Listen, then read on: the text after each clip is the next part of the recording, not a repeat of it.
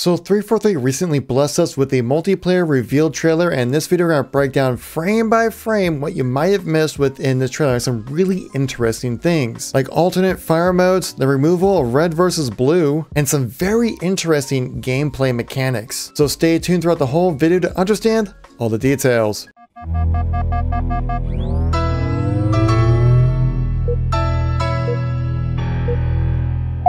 The dust has settled from the Halo Infinite E3 presentation, and overall, I'd say it was a really great presentation. I'll have a video out very soon about my thoughts about the whole thing as well. But spoiler alert, it was pretty sick. But soon after the reveal, we had the release of the Halo Infinite multiplayer trailer reveal. So I wanted to break this down for you guys in this video. So if you guys like these analytical kind of videos and want to see some more content like this, make sure you tap that like button. Let me know you want to see some more content. As well, if you're new to the channel or want to stay up to date with everything going on with Halo as it ramp up to the release of Halo Infinite, make sure you tap subscribe. Let's get right into the content here. So here we are in the reveal trailer, guys. We'll just break this down real quick. So the very first scene, we actually get a chance to see the sidekick in action right here. As you can see right here, boom, that's the new sidekick right there in action for you guys. It pretty much just looks the same, but they added on this bottom section right here. I'm not sure if that's like a new kind of weapon attachment or some kind of light or something like that. But hey, you know, it looks more like Halo, I guess, in a way. And got a really an awesome close-up of the Spartan. Yes, it is a little blurry, but getting a close-up of Spartan looks pretty freaking awesome. Awesome explosions, but nothing really we haven't really seen besides his sidekick. So let's jump into the next frame here as we move forward. This is pretty interesting. This is like a view of the what they call the Academy, which is like a training mode experience for new or people who want to become more acclimated to the Halo Infinite multiplayer. You have a thing called the Academy, which right here, this Spartan Laurette will guide you through the trials and tribulations that it takes to become an ultimate Spartan, which is going to be a great way for returning players to understand the new mechanics of Halo, as well as returning players who might have not played for a long time understand some of the mechanics of the game, which is going to be a great way for new players to jump into the game. Now, I'm curious about this since they created a whole cinematic around this. I wonder if they're going to try to implement some kind of like storytelling elements with the multiplayer, kind of like what we see with like Warzone of Call of Duty or like Apex Legends where, or even Overwatch as well, where they try to do like these story arced elements that kind of play out through an entire season. I think with Laurette here, we might try to see something similar happening with Halo Infinite for each new season, getting some new kind of trailer cinematics and new story elements to tell through the multiplayer experience, which is quite interesting. At least that's just speculation on my part. There's a great glimpse of a new armor set that we haven't really seen yet. We have seen some images, but here we go. This is the commander helmet that we know from Halo Reach with Helmet. Well, it's right there as long as as well as we have the bladed shoulder piece that we had from Reach as well. So very heavily influenced Reach armor set's going to be in this game as well. Looks like he's probably holding up like a commando or possibly the MA40 because you can see he has a sidekick on his side right there as well. Right here utilizing the Bulldog shotgun that we've seen previously as well. Looks like they're probably holding the Pulse Carbine as well. And you can see it looks like it probably takes about two shots to take down the Spartan as well right here. So decent power when it comes to the shotgun right here. Uh, again, we won't really truly know how well it performs until we actually get our hands on it, but they do say flighting will happen with Fort Halo Infinite later this summer. And right here we have a really nice close-up of the return of the CQB helmet in Halo Infinite with a really cool kind of red tinted visor, kind of like a red and black kind of look to the whole Spartan as well. This is an armor coating as well, remember, so there's no primary secondary colors within Halo, it's all just select your coating. Now I'm not sure if this is a redo of the visual style of the Commando or if this is a coating of some sorts, but this has definitely changed when it comes to coloring on the weapon as well. Because in Reach, very heavily Reach influenced armor sets right here on the chest piece, that shoulder piece right there, straight out of Reach, like straight out. Really nice side profile of the same weapon as well, kind of see it in action. Nothing really whole lot to point out right here, but definitely looks awesome. Next shot, we get a first look, look at our brand new map that we have in Halo Infinite. We don't know the name of this one quite yet, but it does look very much like Dust 2, which I've seen comparisons on from Counter-Strike, which obviously Dust 2 is like one of the greatest maps of all time. If Halo Infinite does a similar kind of map, I mean, that'd be awesome, but this looks more of just an aesthetic thing. We do see the return of the Needler as well, but we kind of knew that was coming back anyways. Now, this armor set specifically does a great job of combining new and old art styles together. This helmet looks very much like the soldier helmet that we've seen from Halo 4 and I believe also in Halo 5. Doesn't really look that great, but in Halo Infinite they have redone this helmet and it does look pretty awesome and very stealthy kind of look to the whole thing. So I could totally see that being a pretty awesome headset to rock out with. And also keep in mind the different undersuit as well. I've been seeing these two different types of undersuits, the mesh kind of undersuit and the more classic kind of rubbery look that we've had for previous undersuits. Now I'm sure if you'll be able to choose your undersuit or if it comes with like an armor coating or something like that. Again, we'll know more with the multiplayer reveal happening on Monday, which I certainly will be covering on this channel as well. And it also does seem we will be able to do some customization on the glove pieces as well, which is great because obviously when you're playing first person, that's one of the things you actually really see. So being able to know that you've customized your Spartan in specific ways is pretty cool. Oh boy, and here it is the return of the Brute Chopper. I made a video about this previously. It was leaked out, or not necessarily leaked out, but revealed through a Mega Construx toy reveal saying as it appears in Halo Infinite. And well, this boy is definitely appearing in Halo Infinite. The Brute Chopper is coming back, a more banished, kind of edgy red and crimson colored version of it. It just looks freaking badass. Can't wait to ride this thing. Now this scene is actually really cool right here because we have the Ghost, we have two Wasps, the Brute Chopper, and a Rocket Hog down here in the lower left as well. Now, I've seen a lot of people compare this up and say that it's actually a remake of Valhalla. I don't think it is. I think just seeing like the Forerunner structure like this in like a BTB style map, it'd probably be like a base, which is very much like Ragnarok and also very much like Valhalla and having a launch right there like put you into the middle map. Very similar situations. I can understand where people are coming from on that, but I just don't think that is exactly the case. As this map visuals just look completely different from what we know from Valhalla, but here, never know. I, mean, I could be wrong on that one, but from the other screenshots we saw, it doesn't really match up. Here's a close-up of Laurette right here. Again, they did a really good job with the cinematics on here. I think we're going to be seeing these kind of cinematics playing throughout the seasons of Halo Infinite's multiplayer experience.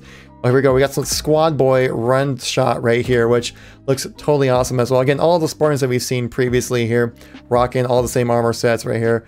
We have a Pulse Carbine on the left, a Bulldog right here. We have the VK Commander, which more of the coating that we've seen previously. So I think that red one was actually just more of a coating. And we also have the Battle Rifle right here. I can't tell if that's like a camo kind of skin that they have on it or if it's just the natural looking one. But also, by the way, keep an eye on the feet of this orange boy right here. His right foot is all orange. His left foot is actually, you know, a darker color, like black or gray, gunmetal, whatever you want to call it. And it looks like he actually does have like a robotic arm possibly right there on the right arm as well. And as we go to the next shot here, same people right here, you can see, yes, there's a robotic arm on the right arm as well. And it actually looks like that lower leg is actually a robotic leg as well that you can now have in Halo. To add some more customization to your Spartan, to do some more robo arms and stuff like that, which is super cool. I definitely like that in Reach, and I'm glad it's coming back in Halo Infinite. Next, we just have a really quick battle scene right there. Just looks completely awesome as well. Going to first person, now important thing I want to showcase, and this is a huge important thing. This confirms red versus blue gone in Halo. Not going to be a thing anymore. You're going to have your own individual colors, but they mentioned this in the development update that I did make a video on, talking about how they're going to be using an outline system to indicate friend or foe. Now, we only see foes in this one, so this could be a free-for-all experience, but take a look at the enemy guy that you see right here that's shooting at your friend that from our point of view. I don't know if it comes through on the video super well, but he has a red outline around the Spartan. Very thin, but certainly there. And I think there enough to where it's not intrusive or it looks like you're looking at a UI, but also part of this experience as well. You can also see in the back right here as well, another enemy Spartan outlined in red. So there's not gonna be red versus blue anymore in Halo. It's gonna be based off of this outline system of friend or foe, which they indicated within the blog update of Halo Infinite as well. You get a nice little close up. You can you can see how the red outline comes through the flash of the weapon as well. So that's what we're going to be dealing with. That's what's going to be kind of looking like with Halo Infinite. Now, obviously with like community feedback, things can be tweaked a little bit, little bit with the with the visibility of this right here. But again, this is what we're going to be getting in Halo Infinite. Team-based colors, gone. Your own individual colors will stay, which I think is kind of cool. But we can continue on right here. Again, weapons off the wall over here, by the way, as well. Very interesting. Yeah, weapon racks now. Uh, doesn't I didn't really notice any kind of weapons on the ground except for BTB. There's this one scene where there's a sword, which we'll point out later. There is again, you can kind of see the red outline of him, and right there, check that out. That's our first look of the new like pulse equipment that sends out like a radius to let people know like where bad guys are right here. You can see him through walls, looks like within this radius as well as kind of arm shot. Similar thing as the grapple shot as well, which is pretty interesting to see how that works out. What's the cooldown rate? How many can you throw down? That's gonna be very important to know about. I'm sure we can test that kind of stuff out with the gameplay reveal and also the flighting and stuff like that. Check it just like this had to be Unyshek playing because I think only Unyshek can pull this off at 343. Now, when I first saw this weapon, I'm like, that's a cool new weapon in Halo Infinite, just incinerating people. But take it in, take a closer look. There's a two firing modes with this weapon as well. You can see right here, take a look at the reticle over here in the center. It's much it's very linear, flat kind of style right here. Shoots it off, kind of has a wide spread to it right there. Then you can see the animation actually tightens up the weapon right there, right there, and then goes to a much more vertical placement when it comes to the reticle as well. So depending on the situation, you can change the reticle position of this weapon, at least with what we've seen previously. I don't know if there's going to be alternate fire modes with other weapons.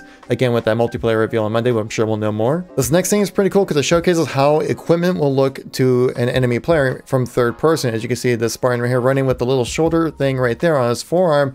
That lets you know, I guess that's going to be an equipment because you will see him use this equipment in a second. I first thought it was like a wrist mounted like noob combo, but it actually repulses a noob combo shot back at the enemy, which they did mention within the blog update here. And so you can see he swings the hammer, big boy gets the smack. Now right here you can see exactly uses the repulsor right here to shoot back the noob combo shot back at the enemy, swaps to the BR, gets the headshot. That's pretty awesome. A great way to counter that noob combo because the noob combo is essentially like a power weapon. And if you can find a way, new cool ways to counter that, that's pretty awesome. Again, we get a really good shot of the drop wall right, right here as well, which you can see it's broken up into different pieces. This looks very different from what we saw from the campaign as well. He shoots through the wall, that segment breaks apart. So it's not going to be like the bubble shield that we know from Halo 3. It's going to be much more dynamic, much more interactive, and way less protective than the bubble shield, and probably a bit less annoying. Just depends how many shots it takes to actually break down one of those shields. That's why you got someone using the grapple shot, get stuck, I'm sorry, you're dead. Right there, you can see here's our first glimpse at the customizable AIs that we have in Halo Infinite as well. Now in the development update, it said that they can help capture objectives. I think it's more just kind of an icon showing who captured the objective. Uh, I would doubt that you can just like plant your AI, walk off the objective while it still captures. That wouldn't make a whole lot of sense to me. But again, we'll know more as the days continue on. As throughout this week, we'll know more about Halo Infinite as the day as the week progresses. And here's another shot of a new map as well. This looks just like straight up classic Halo, man. The amazing four, uh, you know, forerunner structures covering up the whole map.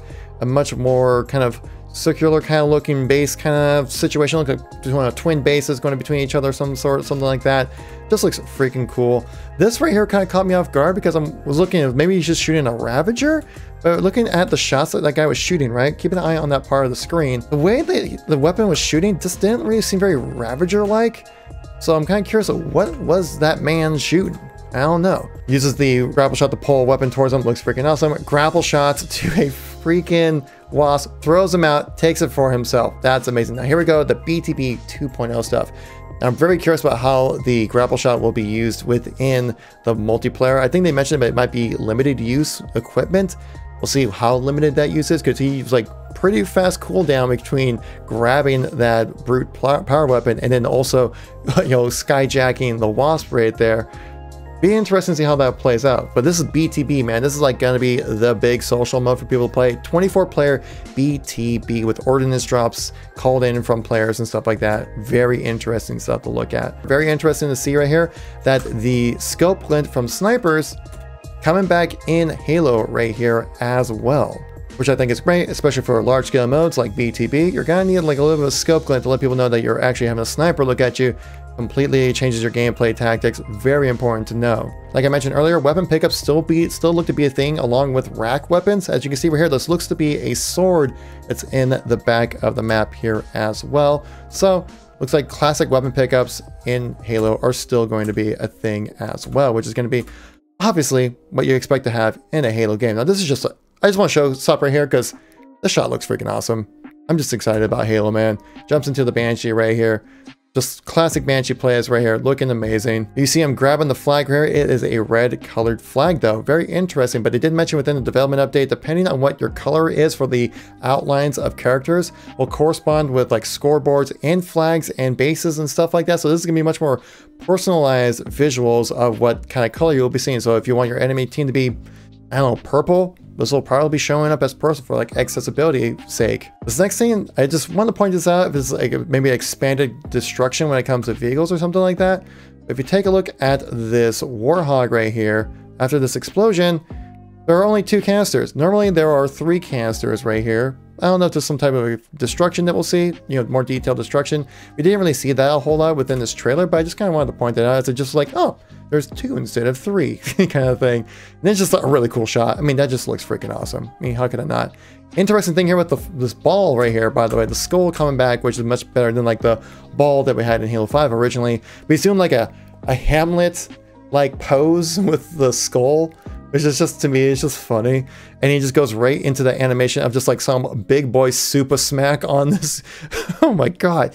Absolutely yeets this man right here as well. Uh, you can also see right here looks like there's some kind of pickup as well in the corner of this map as well on top of that which is all good to know. Just like hey classic pickups are coming back. Rockets weapons explosions grapple shot the freaking cancer, and then the like the showcase of Hayabusa 2.0 dude combat evolves the sword to him like we've been able to do previously. That's back in Oh my god, that armor set, dude, that is something else. If you're new to the channel or missing any content from me recently, check out the videos on the screen or here, got a link to all my news and informational videos. So thank you so much for watching, I greatly appreciate it, I'll catch you on the next one.